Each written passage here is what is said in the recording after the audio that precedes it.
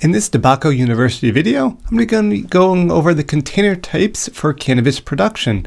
We see a couple labeled here, or shown here in the images, but we're going to go into them in a little bit more detail, giving you some of the advantages and disadvantages of each.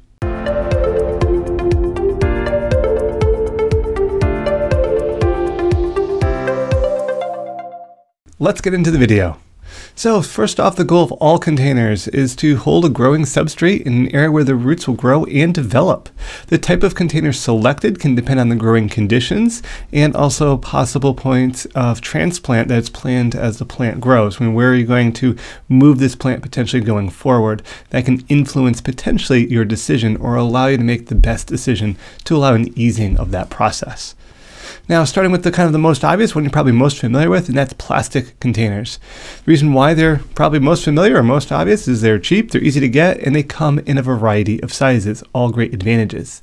However, some of the downfalls can be the storage, particularly in large scale production, shipping, uh, if you're buying them by the pallet, and then we're looking at just transporting them to the facility and also disposal of them uh, when they're uh, gone through at least one grow cycle or some are reusing them, uh, but disposal when they've kind of gotten past their shelf life.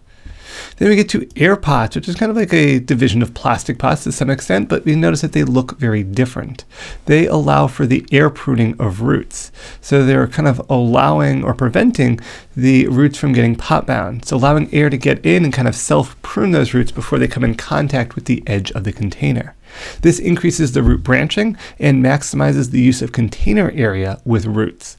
However, the downfall, because there are literal holes here on the sides as well as underneath, is that they can dry out quicker and growers may need to adjust their irrigation frequency and or durations. Then we get to fabric containers. So for our fabric containers, they store uh, well in small places. They're very easy to move. They can also increase aeration of the root zone. All great uh, positives. However, the fabric, depending what fabric you get, they can break down over time, particularly if used in outdoor production. They also can be hard to clean because that fabric tends to bind and hold on to things.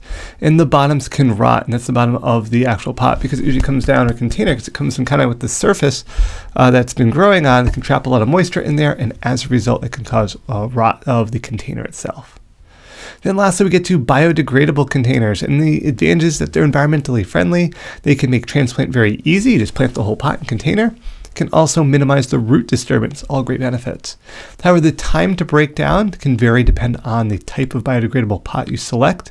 They can dry out faster due to the wicking of moisture, and their cost can be higher than some of the previous items mentioned. So for all of these container types, if there's one you want to learn a little bit more about, because you like the advantages and can uh, dissuade some of the disadvantages, you're welcome to check out this channel for more detail explaining each of these container types.